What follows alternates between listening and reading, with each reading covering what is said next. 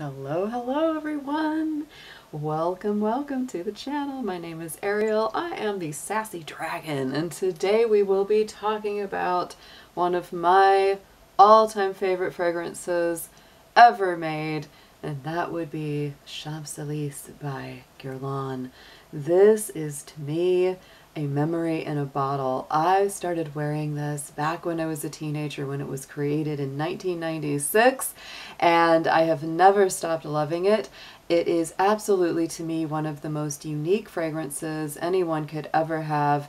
Um, it does not smell like anything else I've ever smelled and today in today's climate it seems like there's only a few kind of basic types of fragrances with very few extremely unique standouts. It seems like there's lots of fruity florals, there's lots of white florals, there's lots of, you know, woodsy, you know, ambery smells. There's tons of syrupy sweet gourmands.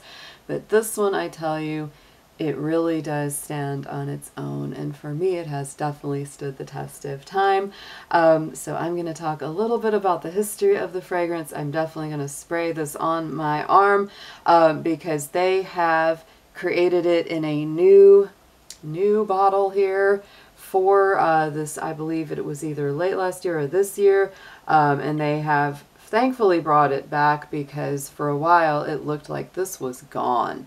Um, suddenly it was gone and I was really unhappy. I was like, oh no, it was like my favorite thing. And I used to be able to get it really inexpensively on discount perfume sites because it's one of those that it was old enough that people had kind of forgotten about it. it wasn't the exciting new thing and so it you know I could pick up a big bottle of it for less than 50 bucks. It's not the case anymore and if you go on eBay you're going to be um, blown away by how much money people are getting for this perfume right now. It's actually kind of wild for the um, old you know vintage original bottle. So let's go ahead. I uh, pulled up a few notes of course from uh, Fragrantica.com and also from the Guerlain website itself. So this was their notes. I don't know if you can see that in there, so I'm not going to bother with that, but I'm just going to read out the notes from the Eau de Parfum. Um, this top note says melon, almond, peach, violet, black currant, and anise. Middle notes of lilac, mimosa, lily of the valley, peony, almond blossom, rose, hibiscus, with base notes of vanilla, sandalwood, almond tree, benzoin, and cedar. Now what I will say about this fragrance is that most of these notes do not hit me front and center. They really, really do not. Um, and that is a testament, honestly, to how well blended this fragrance was. It was created um, by Jacques and Jean-Paul Guerlain, so it's a it's one of the classics, guys, for sure. This is definitely created by some amazing perfumers. Guerlain is one of the oldest French uh, you know, ma mass production perfume houses out there. It's older than Chanel, it's older than Dior. You know, they've been around for a very long time. So I really feel like their their stuff is always very good. Um, but the things that hit me the most, now my favorite, I'm going to tell you guys, this is not the Eau de Parfum. This is the Eau de Toilette, which the notes are almost identical to. Um, but the difference is that I will say about the Eau de Toilette, and the reason I like it just a little bit better, is because that black currant note is a little stronger, it's a little sparklier, it's a little sharper. It comes to the forefront very strong, and I love that note, so that is the only reason why I personally like the Eau de Toilette a little bit more. The Eau de Parfum is a little bit smoother, rounder. It doesn't punch you quite as, as sharp with that black currant to me. So I'm going to go ahead and I'm going to, oh, it's just, when I smell this, it takes me back to a very good time in life, guys. It's like the late, the mid to late 90s and, you know, just enjoying like playing a lot of video games in arcades, not, not at home, um, you know, going to movies, hanging out with my friends, um, all the all the fun stuff I used to do, lots of concerts. It reminds me of that. Um, yeah, performing music because I'm a musician too. So it, it all those things just come back to me as soon as I smell this. And I'm going to tell you as well that if you get a hold of one of the vintage bottles, both of them, either the EDP or the Eau de Toilette, and I'll tell you, there's very little difference in strength between them. Most of the time in perfumery, the EDT is lighter, weaker, not as strong. Mm-mm. With this, the EDT and the EDP are both equally strong with the vintage bottles. They are monsters when it comes to longevity, strength. You will put this on, especially if you put it like in your hair, behind your ears you'll be smelling it till the end of the day. It will not go away very easily or quickly at all, at least on me. I know everybody's a little bit different. Um, for some people, like there are perfumes that some people say they last all day long.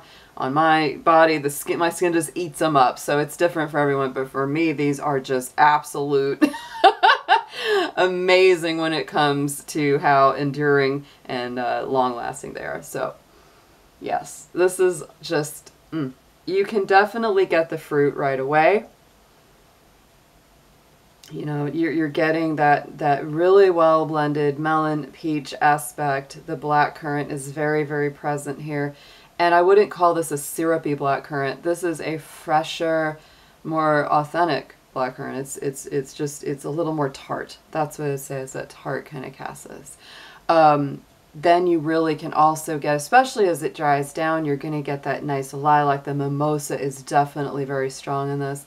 Very subtle undertones of like, it's, it's almond flour and wood, not like almond oil. So it's not going to have that almondy smell straight up.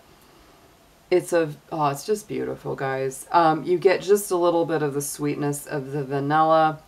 Some people really refer this as a yellow or spring scent. I do not feel that way about it because, of course, in my own memories, I wore this all year long. This was my first really fancy signature scent when I was a teenager. So, you know, for me, this felt very glamorous, very sophisticated.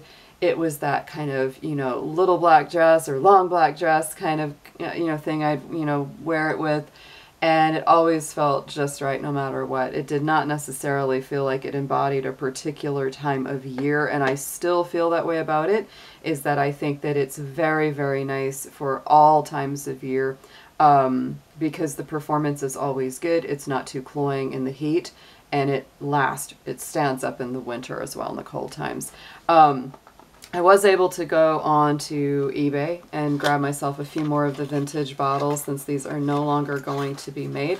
And um, so this is one that came, this is a one little, a little mini one ounce bottle, very cute. And it came in this pink box. Um, I remember the pink boxes. I remember there was also a gold box. I think the gold box might be a little older. I think the pink box was actually a little bit newer, but either way, the juice is exactly the same. So let's fast forward. I was heartbroken um, when I realized that these perfumes were no longer being produced. Um, I will also say this was the original. I printed this out on my computer.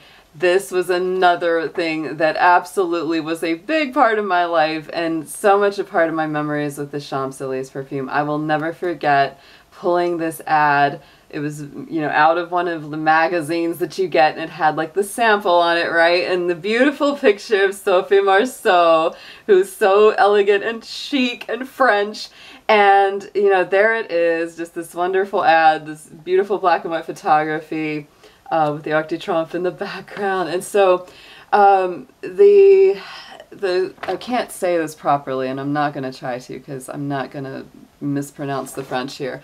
But what that translated to, at least on my American version in English, was life is best played without a script. And so I loved that quote. I thought that was perfect for my own life because I've never really followed any sort of linear path in life. And I was like, yes, that is my, that's my statement.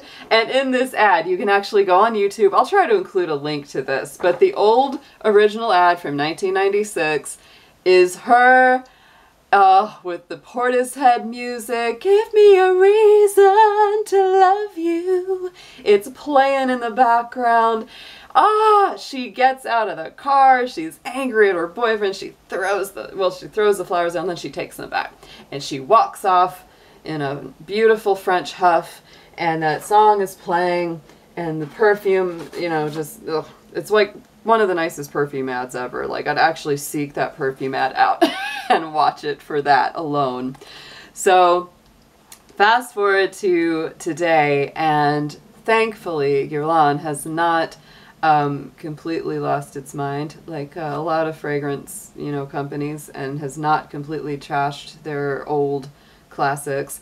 Um, and they did bring back Champs Elysees in a new bottle. Now this is the this is one of their old classic bottles or variation on it with that inverted kind of heart shaped stopper. Now they have not yet, as far as I know, brought back the Eau de Toilette version. This is the Eau de Parfum.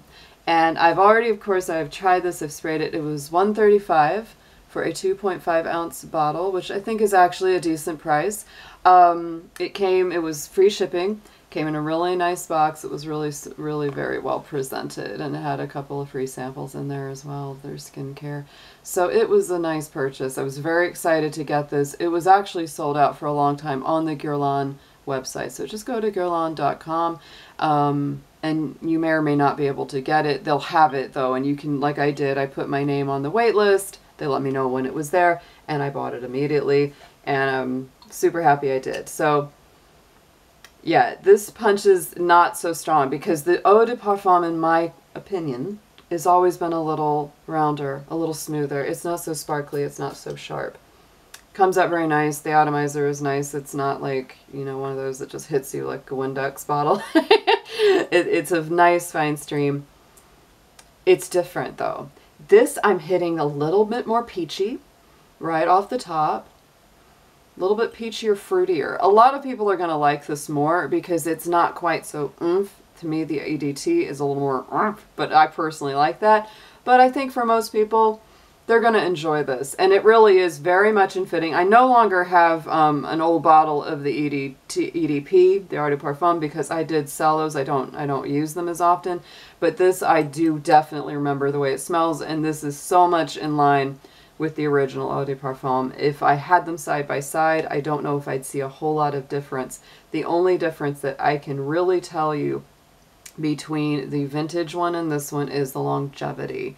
It's strong, it comes out just as well as the old one did in the beginning, but the lastingness of this is not even as strong as the original EDT. That is an unfortunate thing. And I don't mind reapplying, you know, a perfume throughout the day, but, you know, the strength of this is simply not the same as the vintage one. The vintage one, like I said, was an absolute beast for like for longevity and throw. And I'll tell you, I can't tell you. I get I do try to really gravitate towards using perfumes that I get regular compliments on. That's an important thing. If people never say, wow, that really smells good, I kind of go, either my skin's eating it up or it really just doesn't smell that great or it's just blending in to my shampoo or it's just not really that much of a standout. But this one gets compliments every freaking time I wear it. And I, it's funny how there are a few of us 90s girls out there still roaming around because I've had a few girls, you know, that I know or I meet and, you know, they might walk past I might give them a hug after we've been talking for a while and they're like, oh, Champs-Élysées, you know, they know it immediately because like I said, there is nothing quite like this perfume. If you want to smell different from other people, this is your girl because not that many people wear it, not that many people, um, you know, as far as I've run into, I've never run into somebody else that was actively wearing it, but I have run into people that knew about it. So, oh yeah, I mean, it's, you can't go wrong with this. The EDP, the new version is still great. They thankfully did not deviate from the original formula as far as I can tell. The only difference is the, the strength of it is not as long lasting, but that's a minor caveat. So, but of course I still love my EDT the most. And I hope that if anybody that has anything to do with Guerlain or this beautiful fragrance um, sees this video, that they will take that into consideration to bring them both back because, you know, they're, they're both good for different reasons. I like the EDP is a little sweeter, a little rounder, just a touch fruitier. That's, you know, it's, it's, you get a little bit more of that peachy vibe. But that wonderful kind of mimosa lilac dry down in the center is so good. And it's, it's, this I would say, yeah, it is a lighter fragrance. This isn't heavy. It's not deeply musky, woodsy, anything like that. Um, it has enough of a bass to it to keep it from being too high octave, in my opinion. Um, but it's not something that if you're wanting or, or you know you like a deeper dry down, it's not going to be in there. This is more of a sparkly, upbeat, yet sensual, seductive. To me, it is a very romantic fragrance. Some people might call not call this. I don't know if I'd call it sexy, but it definitely lures you. It's like because you smell and you're like, what is that? Like you know, it makes you want to come closer. It is to me that that like you know this is a this is a fragrance that sparkles any time of the year. It has that light city of lights, right? Paris, the city of lights. It has that kind of vibe to it. Um, always a good one, always wonderful, always unique.